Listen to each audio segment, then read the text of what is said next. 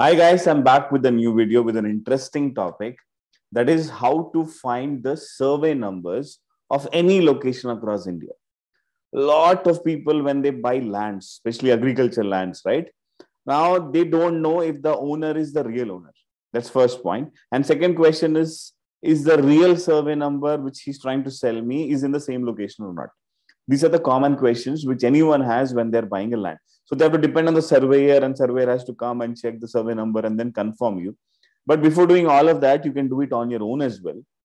You can find out that is he the real seller, first thing, and is he is the genuine survey number or not, right? How can we do it? Let's learn now. There is an application of Government of India which is called as nrsc.bhuvan2d, right? So we learn that how to use that app and find out the survey numbers of any location.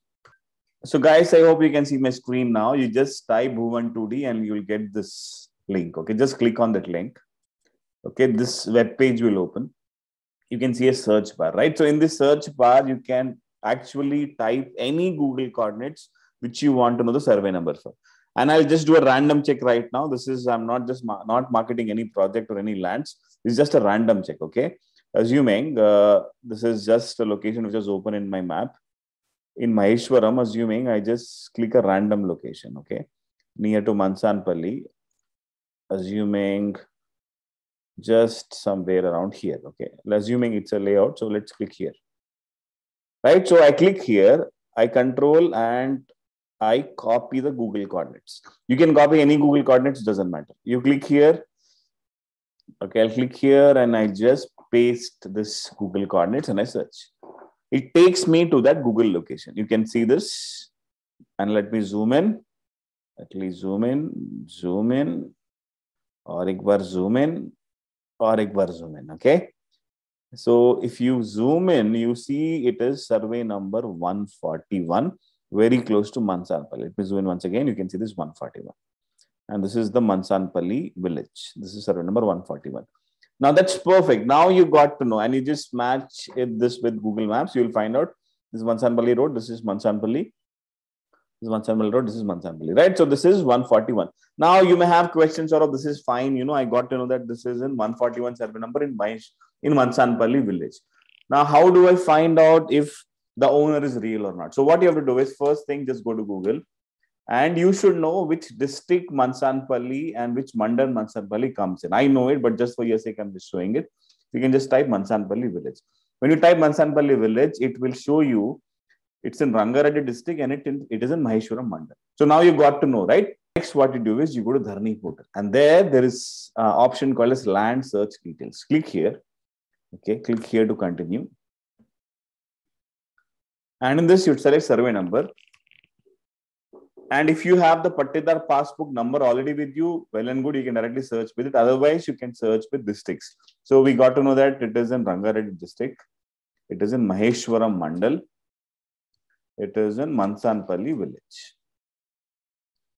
Right. So now subdivision survey number. Now, what is the survey number? We saw 141. Now, one thing you have to understand is 141 is a very big survey number assuming it's around 15 20 acre survey number so you will have bits and pieces of survey numbers of 141 141 slash r e u whatever right?